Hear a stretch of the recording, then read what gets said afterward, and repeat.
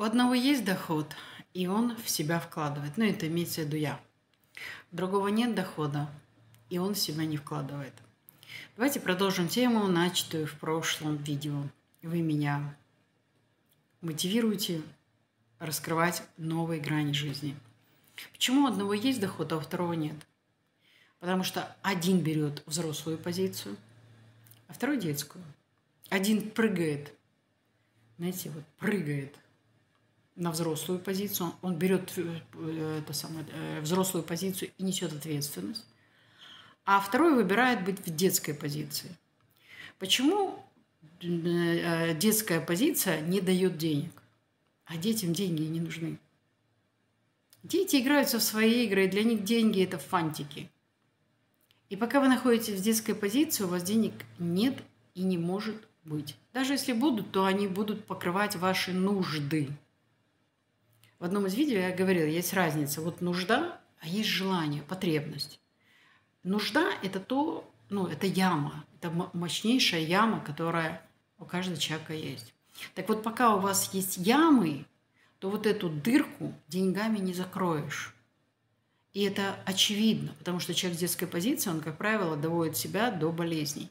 И ему там не до денег у него что-то болит, вы знаете, когда что-то болит, ты думаешь только о том, как бы исцелиться. Но тут заколдованный круг. Чтобы исцелиться, нужны деньги. И чтобы нужны были деньги для того, чтобы исцелиться. А чтобы были деньги, надо выйти на взрослую позицию.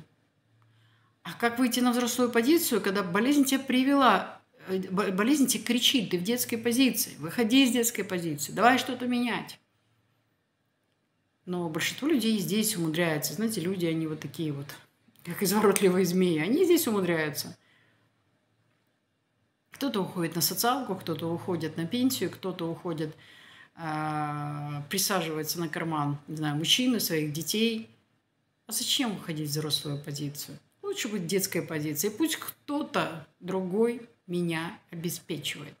И если кто-то другой находится в вашей степени манипуляции, потому что это ваша степень манипуляции, у кого-то брать деньги, ссылаясь на болезнь. Надо будет еще один такой, я делала сегодня, как вам, кстати, мое видео, где я э, театральную постановку сделала. Я думаю, я таких видео буду больше, больше, больше делать. Я вчера проработала качественно. Вот убрала все страхи, сомнения и сделала такую театральную постановку, она быстрее доходит до сознания человека. Так вот, пока вы в детской позиции, денег нет. И нету денег, вы не сможете вкладывать себя в свое здоровье, в свое, инвестировать в свой внешний вид, инвестировать туда, инвестировать даже э, в какие-то свои развлечения, в какую-то свою радость.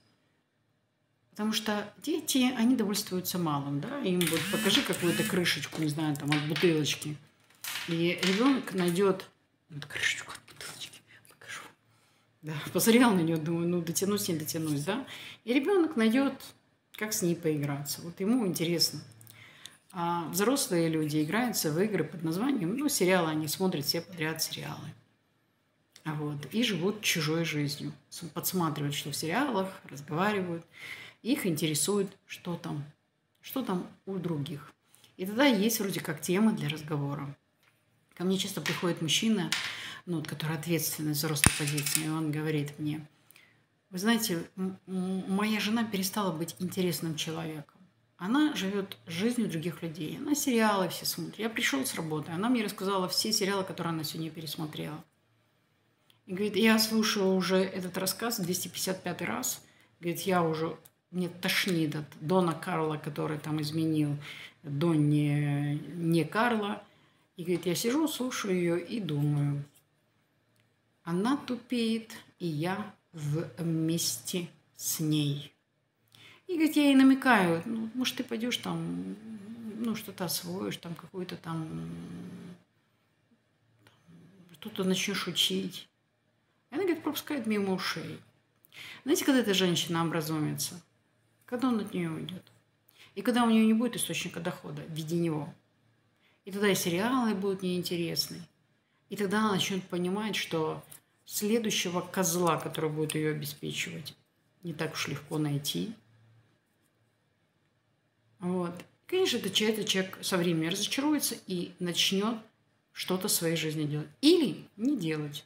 Постепенно увядая, называя, что жизнь дерьмо, жизнь такая плохая и так далее и тому подобное. И мы видим вокруг такое огромное количество разочаровавшихся в жизни людей. Но жизнь, мы приходим сюда, она со своими правилами, эта жизнь, с чужим монастырь своим уставом не ходит, поэтому расстановки никто не отменял. Если вы не занимаете свою позицию, вы не занимаете свое место в этом огромном пазле, ну, вас просто выкидывают. Или вы перестаете быть здоровой клеткой. А что такое здоровая клетка? Взял, дал, взял, дал, взял, дал, взял, дал. Ты пришел, дал, взял, дал, взял. Да? И если ты это не до конца осознаешь и не понимаешь этих многих процессов, что ты из себя представляешь, кто ты такой, зачем ты на планете Земля, какое твое предназначение, то, понятное дело, если человек не выполняет свое предназначение, у него денег нет и быть не может. Потому что свое предназначение выполняют взрослые люди. А дети, они вот, вот им дал, они будут играться. Им дал какую-то идею в ТикТоке. Знаете, вот сегодня у меня был кромешно, у меня как дежавю было. Вот просто дежавю. Сегодня пять женщин у меня было на сессии. Ну, разные, да? И вот они как по сценарию договорились мне говорить одну и ту же фразу. Ну, я же не буду первое мужчине писать. А что ты вдруг так решила, что ты не будешь? Ну, там какой-то психолог сказал, что первый мужчине писать нельзя. А что ты вдруг так решила? Вы партнеры. Что значит я не буду писать? Вы что, в детский сад играете? Вы обыкновенные партнеры, которые ну, просто разговаривают с друг другом. Что значит первый, что значит последний? И знаете, если бы это была только одна женщина, ну, поговорили, обсудили, выяснили. Вторая приходит, опять что-то мы разговариваем, там какие-то вопросы решаем, решаем, решаем. И она говорит, ну я же не буду мужчина. Причем это мужчина, директор школы, в которой она работает. Я говорю, подожди, так у вас вообще вопросы, не, это не мужчина перед тобой, а это твой работодатель. И если тебе надо отчитываться, ты будешь отчитываться перед ним. Это бизнес ничего личного. Поэтому, если тебе надо отчитаться перед ним, да, ты будешь первое писать. И первое будешь ему смс отправлять. Поэтому вот люди где-то нахватались какой-то информации, там, там, там. Сейчас вот эта популярная психология, которая учит, что женщина должна делать, что мужчина не должен делать. Слушаешь и такая, чесала репом и понимаешь, что и в отношениях ребенок будет в детской позиции, то есть не брать ответственность. Поэтому, друзья, ой, пришла с моря, еще не расчесалась. Сейчас опять мне будут писать, что у меня с волосами что-то не так. Я сейчас в бассейн, кстати, иду. Я всю свою жизнь, сколько себя помню, все время думаю, как люди рядом с морем ходит бассейн. Вот смысл бассейна, если рядом море. В этой поездке мне открылись глаза. Вот так вот. В связи с травмой руки я была вынуждена не ходить на море, потому что на море очень большие волны, и, соответственно, а в бассейне я научилась плавать. То есть руку подняла вверх и на спине э, плаваю. Я так, мне так понравился бассейн, что Вчера был первый день, э, вчера, позавчера, поза, позавчера, в понедельник, короче говоря, был первый день, когда мне можно было на море купаться. Я пришла такая, поплюхалась в море. Думаю, ну поплавать здесь же невозможно, тут волны большие. Песка так много. Думаю, пошла-ка я в бассейн, поплаваю по привычному для себя способу.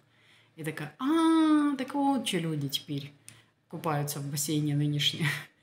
Я поняла. И вот я точно так же могу сказать, а, вот что люди детской позиции. А, так мне понятно. Вот они чего там в этой детской позиции сидят.